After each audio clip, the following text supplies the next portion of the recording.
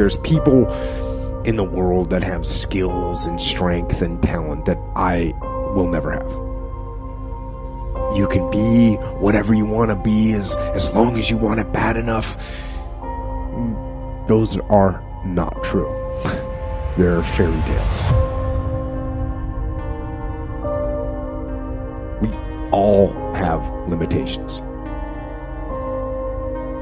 I don't have the right genetics to be an Olympic champion sprinter or a whatever sport you want to name. Now, sure, if I trained my whole life, perhaps I could have achieved some high level in those sports, but I can tell you I do not have the DNA to be the best in the world in those categories.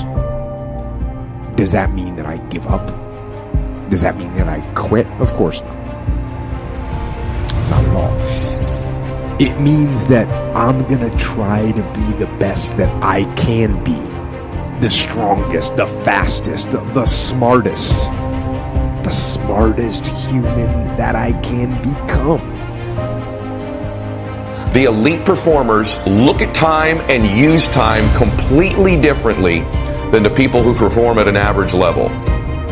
So let's start out. The first thing I want to tell you about people who win, who max out, they are in a much bigger hurry than the people who are average. And I'm not kidding you when I say this. They're in a bigger hurry to get to their destination, to get to their outcome. Their pace is faster. They walk faster. They talk faster. And their expectation when they're going to arrive at their destination is sooner. How big of a hurry are you in? Because there's something to be said about how close you think you are to a goal and how fast you will run to get to the finish line. Make good choices. Good things happen. The greatest tool you and I have as people.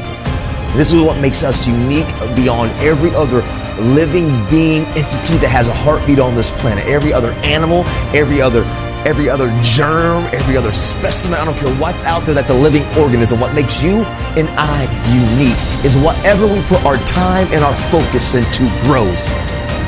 Time and focus are the most two valuable tools we have as people. They aren't going to see your vision unless you do the work.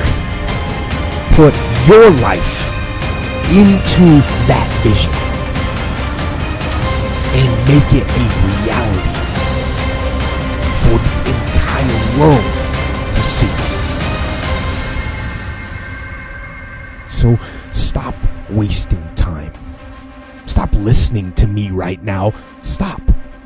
And go out and do the work to bring that vision to life.